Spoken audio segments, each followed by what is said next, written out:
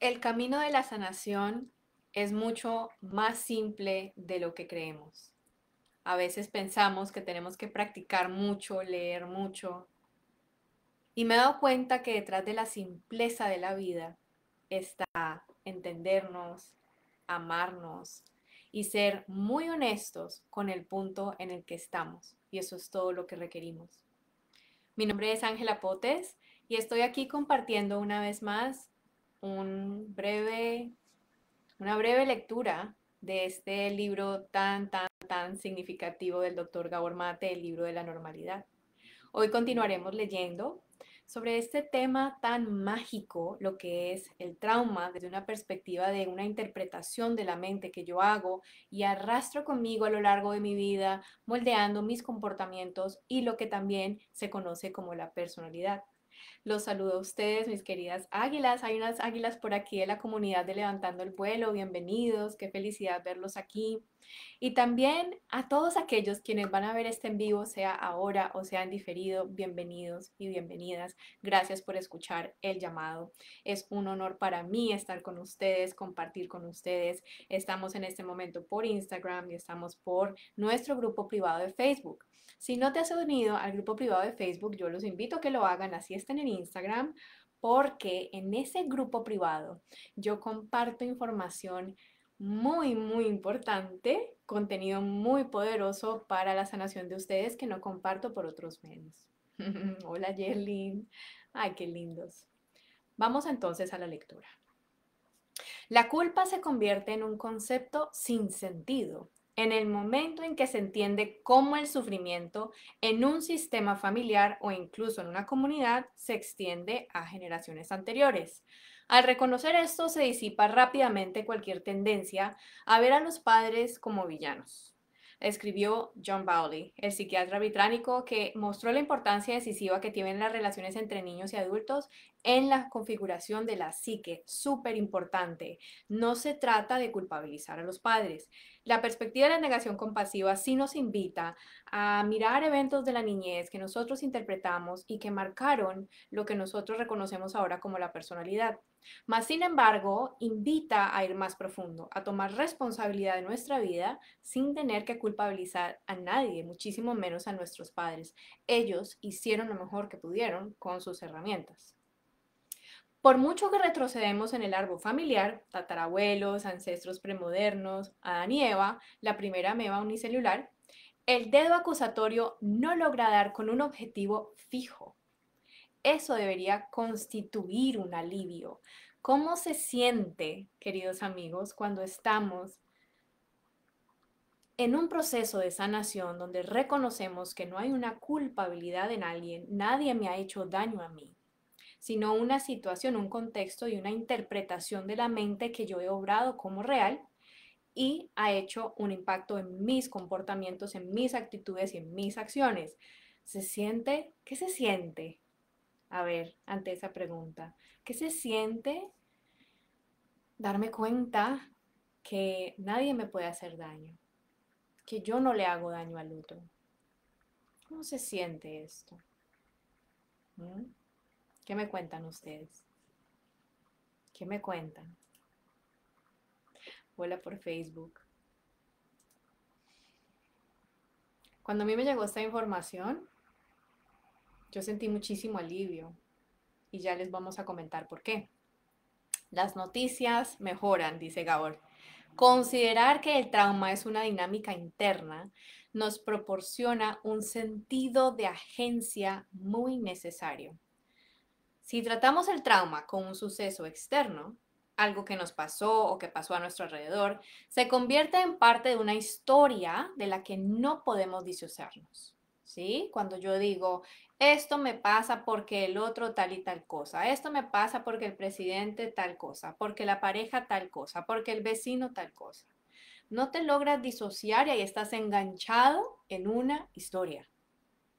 Si por el contrario, dice Gaur, vemos el trauma como lo que sucedió en nuestro interior, como resultado de lo ocurrido, en el sentido en que nos causó heridas o desconexión, la curación y la reconexión se convierten en posibilidades tangibles.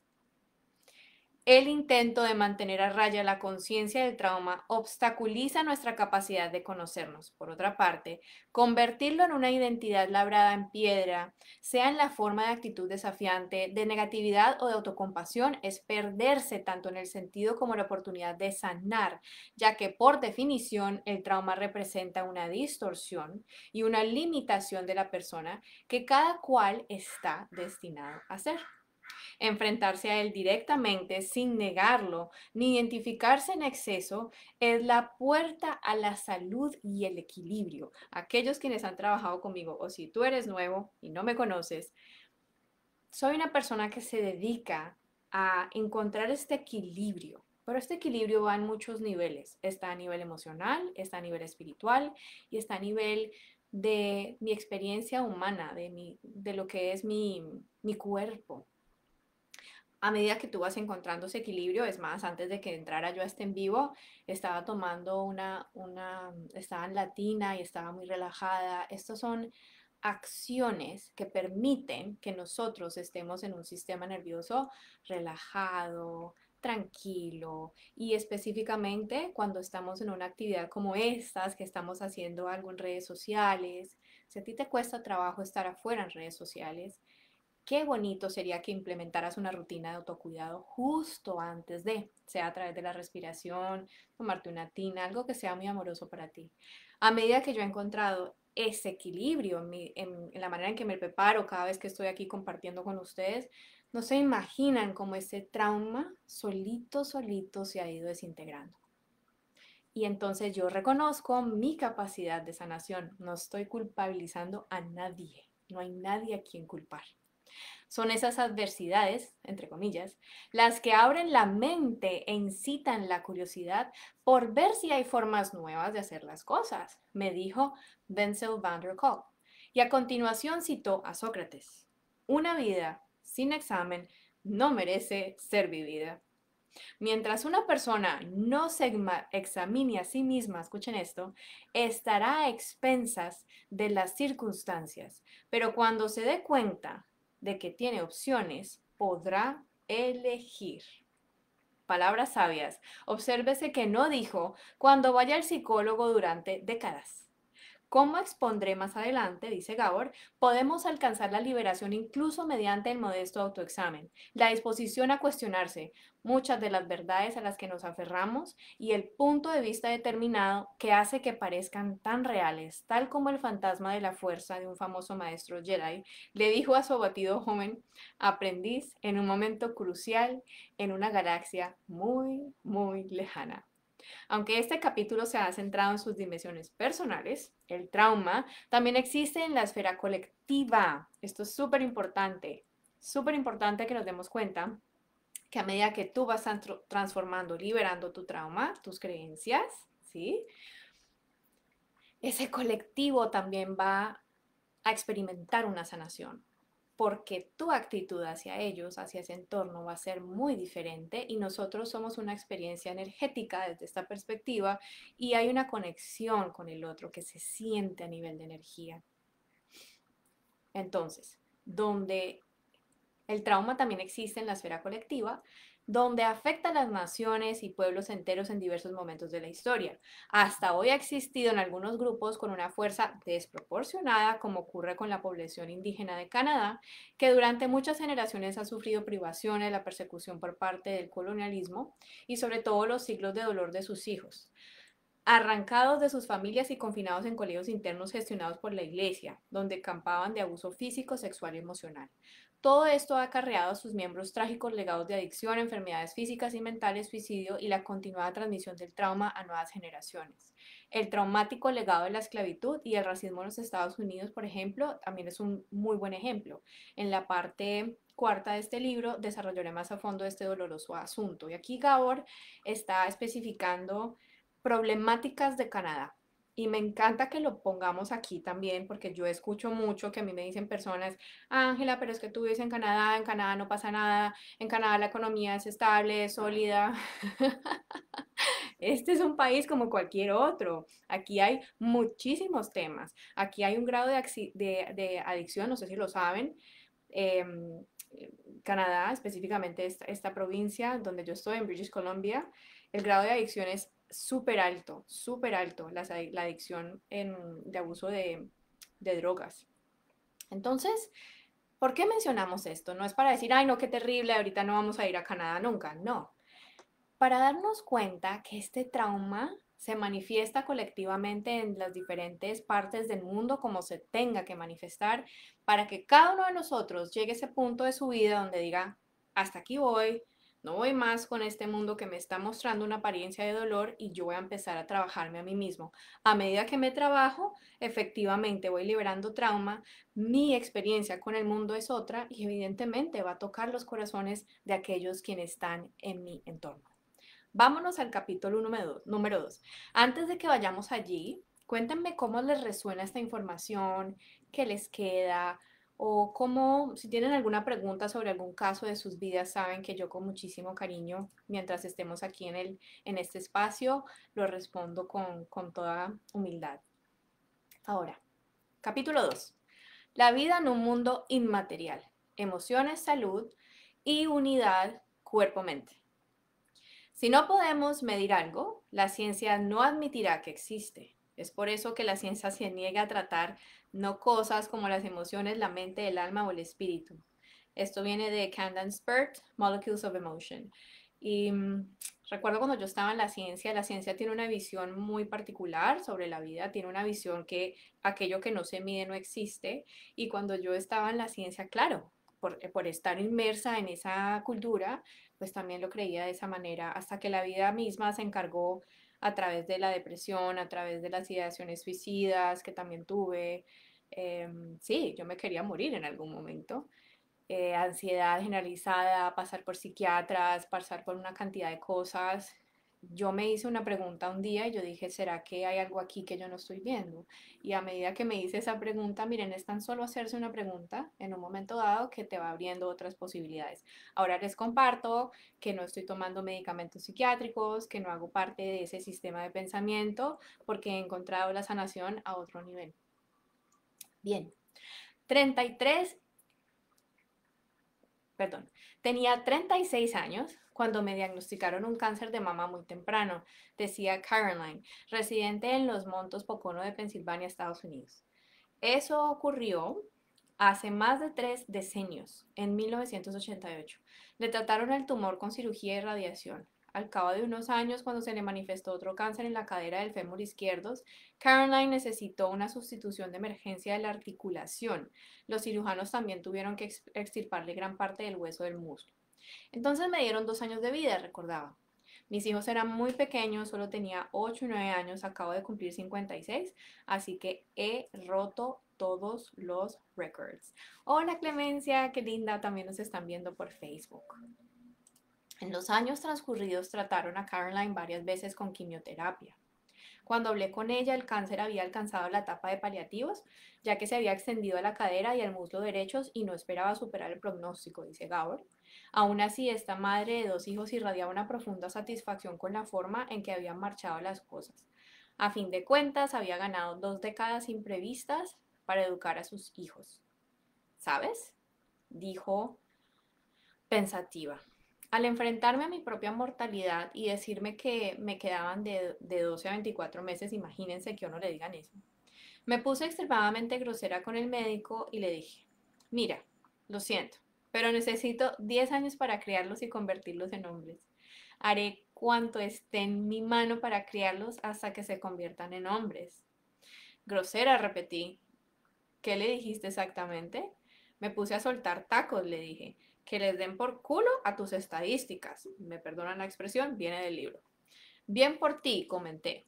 Probablemente eso contribuyó a, prolongarte la vida, dice Gaul. Bueno, esto fue lo que le dije. Caroline se echó a reír, le dije, que les den por culo a tus estadísticas. Necesito esos años para crearlos y convertirlos en hombres. Le estaba respondiendo ella a su médico con relación a las estadísticas de cáncer en ese punto. Salió de la habitación, no le había hecho gracia a mi lenguaje. Le pareció una loca y una arrabalera. Muchas veces he tenido ganas de buscar a ese médico que desde entonces se ha mudado a Carolina y decirle que ahora mis hijos tienen 24 y 25 años. Esto me hace recordar, queridos amigos, les comparto algo personal. En algún momento de mi vida un psiquiatra me dijo, nunca podrás vivir sin antidepresivos. Y yo tenía como 23 años, estaba muy, muy jovencita. Y luego me la encontré unos meses después. Yo tuve un despertar espiritual muy precioso que ocurrió en esa época con un mensaje de Jesús. Eh, normalmente no hablo de Jesús en mis transmisiones, pero si en algún momento ustedes quieren que les cuente un poquito más qué fue ese mensaje, lo puedo compartir. Y y me la encontré en un evento donde a mí se me había presentado también ese mensaje, porque yo seguí yendo a esa comunidad, ¿no? Me conecté mucho con eso en ese momento y me la encontré. Y ella me dice, Ángela, ¿te veo también? Y le dije, sí, encontré a Dios en mi corazón. Y esa mujer me dijo, yo estoy en la misma búsqueda. Me lo dijo la psiquiatra, ustedes se pueden imaginar.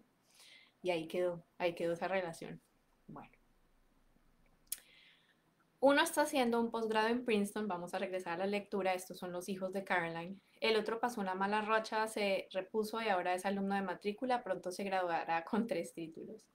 La salida de tono de Caroline ante el incauto médico fue inapropiada, inapropia para ella.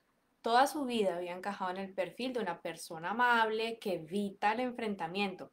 Levanten la manito si ustedes son una persona amable que evita el confrontamiento. El confrontamiento.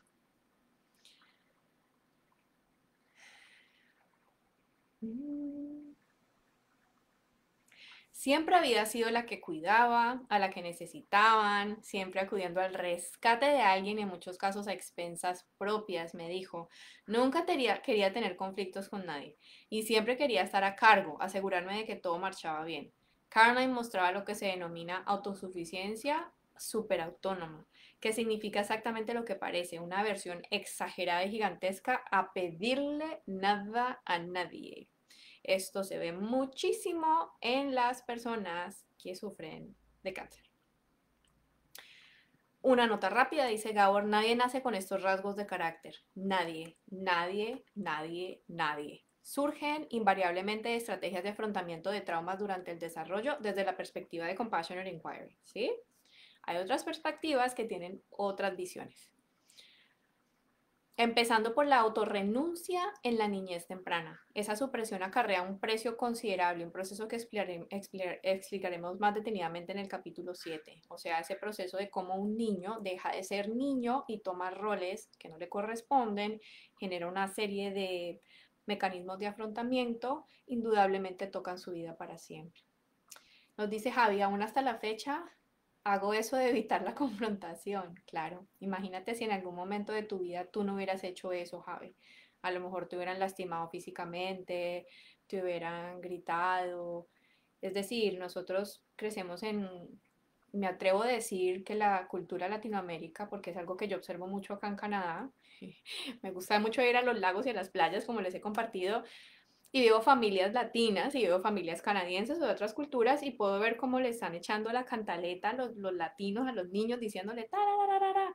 Y yo observaba eso y yo decía, wow, es una cultura, no lo voy a generalizar, pero es una cultura donde hay mucho eso, ¿no? Como en Colombia le decimos la cantaleta, como estarle diciendo al otro esto y lo otro, y lo otro. ¿Ustedes imaginan el nivel de trauma que existe en esta cultura? Es impresionante y no nos damos cuenta porque como unos lo hacen, nosotros lo hacemos y parece, que esto pareciera que es normal. ¿Sí? Gabor dice que este proceso lo va a explicar más a fondo en el capítulo 7. La indagación compasiva es una herramienta que se dirige a disolver esos momentos, esas instancias de tu vida donde haces esas interpretaciones, aprendes a callar, aprendes a evitar confrontamientos, porque eso tiene una función de protección para ti. Eso te está protegiendo de algo y no tiene absolutamente nada de malo. Pero si no lo reconocemos y no le damos luz, no te vas a soltar de esas situaciones y por más de que se acaben las relaciones, del, o sea, que te, que te cambien, digamos, los personajes en tu vida, eso va a volver a surgir porque esa es la manera en que el trauma te invita a sanar. El, este en vivo se llama así, cómo el trauma me invita a sanar. A medida que yo voy cobrando conciencia de que nada tiene que ver con lo que los demás me dicen o me hacen, a mí nadie me hace daño, nadie me hace daño. Entonces yo me empiezo a hacer una serie de preguntas y entre esas está ¿Cómo puedo volver a cobrar yo responsabilidad y agencia de mi vida? y realmente dirigirme hacia ser una versión auténtica, libre de programas, condicionamientos, etcétera, que hemos ido absorbiendo a lo largo de nuestros años y nuestras vidas. Así que si tú estás interesado también en hacer un proceso de estos, la indagación compasiva es una herramienta bellísima. Yo no les alcanzo a decir lo que a mí me ha, mejor dicho, cambiado la vida. Em, así que por eso trabajo con ella, me encanta. También trabajo con un curso de milagros y también es algo que tiene que ver contigo. Me pasa mucho que vienen estudiantes de un curso de milagros y hacemos indagación compasiva y luego su comprensión del curso de milagros es más profunda. Eso también pasa mucho. Así que también los invito, si es algo que ustedes quisieran hacer, aquí estoy para servirles con todo el amor. Hemos llegado entonces al fin de esta transmisión. Nos dice Javi, tal cual. Sí, y les agradezco mucho por su tiempo, por estar aquí conectados, porque cada uno de ustedes que está aquí conectados tiene un propósito muy, muy importante en este mundo. Si tú estás escuchando esta información y has elegido escuchar esta información, en vez de estar haciendo cualquier otra cosa, es porque hay un grado de conciencia en ti que dice, yo quiero vivir una vida libre sin trauma. Levanta la manito si tú quieres vivir una vida libre sin trauma. Libre de trauma que tú puedas relacionarte con la vida, con los demás, con amor en todo momento y que cuando también surjan momentos difíciles, que te permitas llorar, que te permitas liberar tus emociones, que no te cohibas, que no evitemos confrontamiento, porque realmente no hay confrontamientos, ¿no? Yo he venido comprendiendo que la vida es de generar acuerdos y a medida que vamos generando acuerdos con amor, no hay daño, Solo hay mucha compasión y, compasión y mucha comprensión.